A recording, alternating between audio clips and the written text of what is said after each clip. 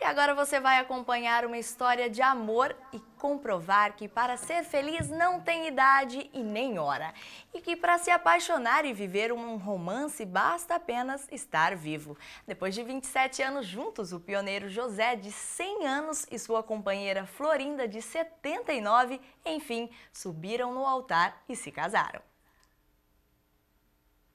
Uma história prestes a completar três décadas. De um lado, o seu José Romígio Pereira, aposentado, homem forte que completou 100 anos de vida no mês de abril. Do outro lado, bastante carismática está a Florinda Rossi. Ela, também aposentada, fez 79 anos em junho. O José moreno, sério. A Florinda, branquinha, tem olhos azuis e carrega um largo sorriso no rosto. O que ambos têm em comum é o amor, que para conhecermos precisamos voltar ao passado e ouvir os relatos de como tudo começou. O ano era 1986.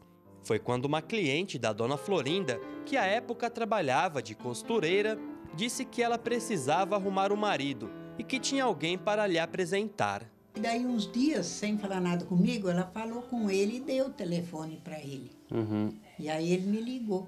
Quando ele telefonou e disse que ele era um assim, assim, que a fulano tinha falado, eu fiquei assim de susto. Porque a gente tem medo de mudar a vida, que já era difícil antigamente. Então eu fiquei. Mas conversei com ele um pouquinho. Foi a suposta cupido do casal quem passou o contato da Florinda para o seu José. E então, coube a ele fazer o primeiro contato. Não me passava na cabeça de casar nunca. Nunca. Eu 70, tinha 72 anos já. Achava até ridículo esse negócio de casamento. Mas, em todo caso, eu falei, eu vou lá ver ela. Aí fiquei, fiquei conhecendo ela, chamou a atenção da gente e acabamos casando. E a gente conversava, ele foi conhecendo meus filhos, né, que chegavam do serviço à tardinha. Depois conheci esse filho com a minha nora. E foi indo assim, e a gente, de dia 15 de dezembro, de janeiro, a gente casou em novembro. A gente foi namorando. Os domingos a gente ia na casa conhecer a filha dele, ia passear. Quando foi em novembro, a gente resolveu casar. Se somadas as idades do seu José e da Florinda, são 179 anos de experiência de vida. Deste total, 27 eles passaram juntos, 16 aqui nesta casa, e é neste sofá que juntos eles recordam as lembranças do passado. E era cada vez que voltava ao passado que a Florinda lembrava um antigo desejo: casar na igreja. Quando se conheceram, José e Florinda eram viúvos. Ele, do segundo casamento, ela, do primeiro. Por causa disso, o matrimônio foi firmado somente no civil. Ah, eu nem esperava mais, porque ele era, não era muito a favor e eu deixei para lá, né? Falei, ah, Deus que toma conta. Mas quando ia na missa, eu falava, ai meu Deus, abençoa a nossa união. Para mim, tanto faz casar na igreja como não casar, é a mesma coisa. Já estava amarrada, né? O padre. Depois começaram a falar, falei, e outra coisa, eu não sou culpado de, de não estar casado na igreja, o culpado é ela. Só que o amor falou mais alto, e a vontade de fazer a esposa feliz levou o homem de 100 anos ao altar.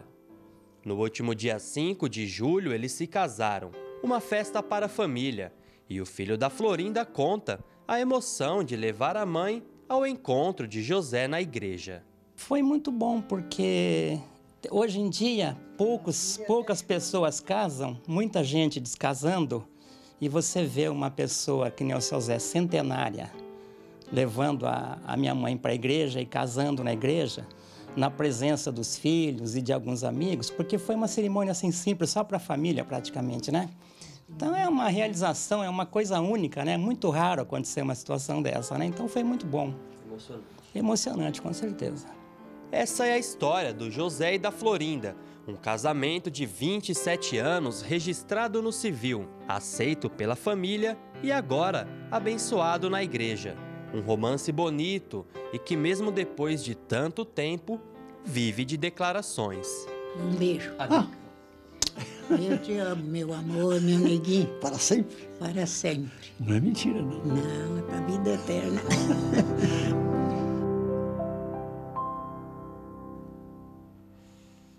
E depois dessa história linda, a gente termina o Notícias do Dia. Nosso próximo encontro é mais tarde, às 6h45 da noite. Uma ótima sexta-feira para você e até lá!